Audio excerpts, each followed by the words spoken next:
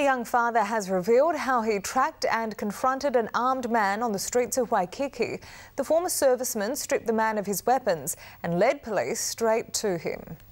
30-30 rifle. This is the former Navy serviceman who stepped in to get an armed man off the streets of Waikiki. I didn't even think of my safety, I just instinct. The 24-year-old tracked down Robert James Reed, took his weapons away and helped steer police to him.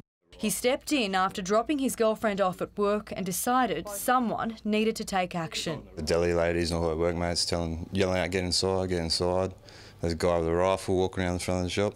The father of one wants only to be identified as Callum. Callum says he spotted Robert Reed here at Warnbro Footy Oval. He says he tried to speak to him, but he pointed both guns towards him. So the trained ex-serviceman says he quickly disarmed the gunman and managed to coax him into his car. Reed asked for a lift to a friend's place. Callum agreed, alerting police to where they were going. In that process, I was messaging my partner and whatnot, letting inform the police what was going on. Leading police right to the house where Reed was arrested. Reed faced court yesterday telling a magistrate he was under the influence of drugs and alcohol and he just wanted to show the weapons to friends.